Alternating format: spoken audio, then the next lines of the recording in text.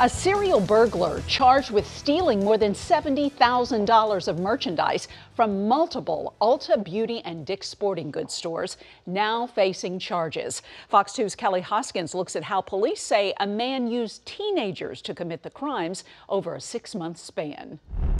Well, today, St. Louis County Prosecutor Attorney Wesley Bell talked about the case, and he said that the suspect has been charged with stealing thousands of dollars worth of merchandise from various stores here in our area.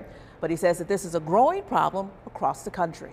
Well, St. Louis County police say 20 year old Carlos Willis stole thousands of dollars of merchandise from Ulta Beauty and Dick's Sporting Goods stores. Each theft caught on surveillance video. According to the probable cause statement, the crimes were committed over a six month period from September 2022 to February 2023. Authorities say Willis hit multiple stores from West County to South County, St. Charles County, and St. Clair County, Illinois. Prosecutors believe Willis raked in more than $70,000 in merchandise in 16 separate thefts over multiple dates. It is concerning, and um, as, as a result of that, we've created a retail uh, theft task force working with many of our community partners in the, in the retail industry uh, because this has been an issue. And Willis has been charged with stealing. Prosecutors say he used teenagers to help him steal. And that's something that we take very seriously, and so the court complied with that request, and his bond has been set at $100,000, no 10%.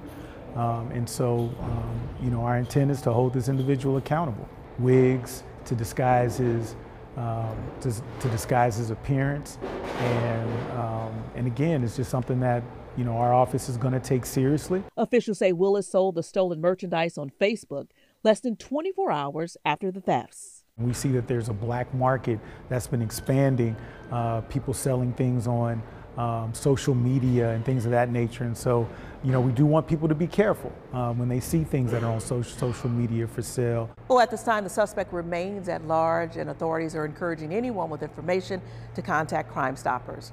Reporting in Clayton, Kelly Hoskins, Fox 2 News.